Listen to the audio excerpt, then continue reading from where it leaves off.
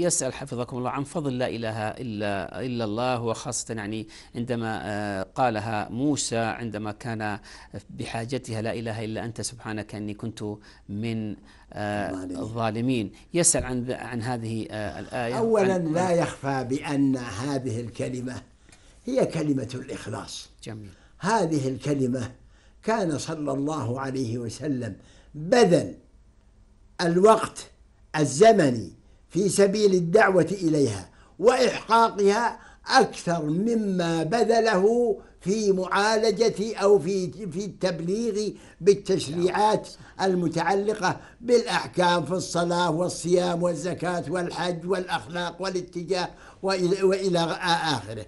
فهو صلى الله عليه وسلم مكث في مكة ثلاثة عشر عاما وهو يدعو إلى تحقيق كلمة الإخلاص. يقول رسولنا صلى الله عليه وسلم إجابة لأبي هريرة رضي الله عنه وأرضاه حينما سأله من أسعد الناس بشفاعتك يا رسول الله؟ قال من قال لا إله إلا الله خالصا من قلبه. هذه الكلمة العظيمة لا تنفع أبدا إلا بشروط ثلاثة. أولا التعبد بتلاوتها. وبالتلفظ بها لا إله إلا الله والإكثار من ذلك. الأمر الثاني اعتقاد معناها. الأمر الثالث العمل بمقتضاها. إذا تحققت هذه الأمور الثلاثة فهي كلمة عظيمة هي مفتاح الجنة. موسى عليه السلام قال يا ربي يا ربي علمني دعاء أدعو به لا يدعو به غيري. فقال الله سبحانه وتعالى يا موسى قل لا إله إلا الله. فقال يا ربي كل عبادك يقولون لا إله إلا الله.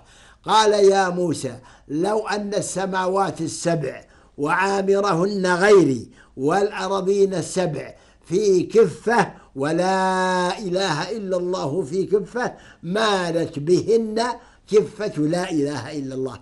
فهذا لا شك أن هذه الكلمة هي في الواقع أساس التوحيد وهو وهي أول ركن من أركان التوحيد. ما هي الآن أركان الإسلام؟ شهادة أن لا إله أول أول ركن. شهادة أن لا إله إلا الله وأن محمد رسول الله. هذه هذا هو الركن الأول.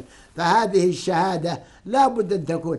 نحن في الواقع نتمنى من إخواننا المشاهدين سواء كان في داخل بلادنا أو خارج بلادنا أن يتفكروا وأن يعنوا بهذه الكلمة ويعنوا بما تدل عليه فالتلفظ بها فتلفظ المتلفظ بها والحال أنه يدعو قبرا أو شجرة أو حجرا أو, أو, أو, أو وليا أو حيا أو ميتا ونحو ذلك. ويرجو منه النفع والضر ويعتقد فيه ويعتقد فيه القدرة. هذا لا شك أنه حينما يقول لا إله إلا الله نقول له بأنك كذاب. لا تقول هذه لا تقول هذه الكلمة. وإن قلتها فأنت كاذب على نفسك.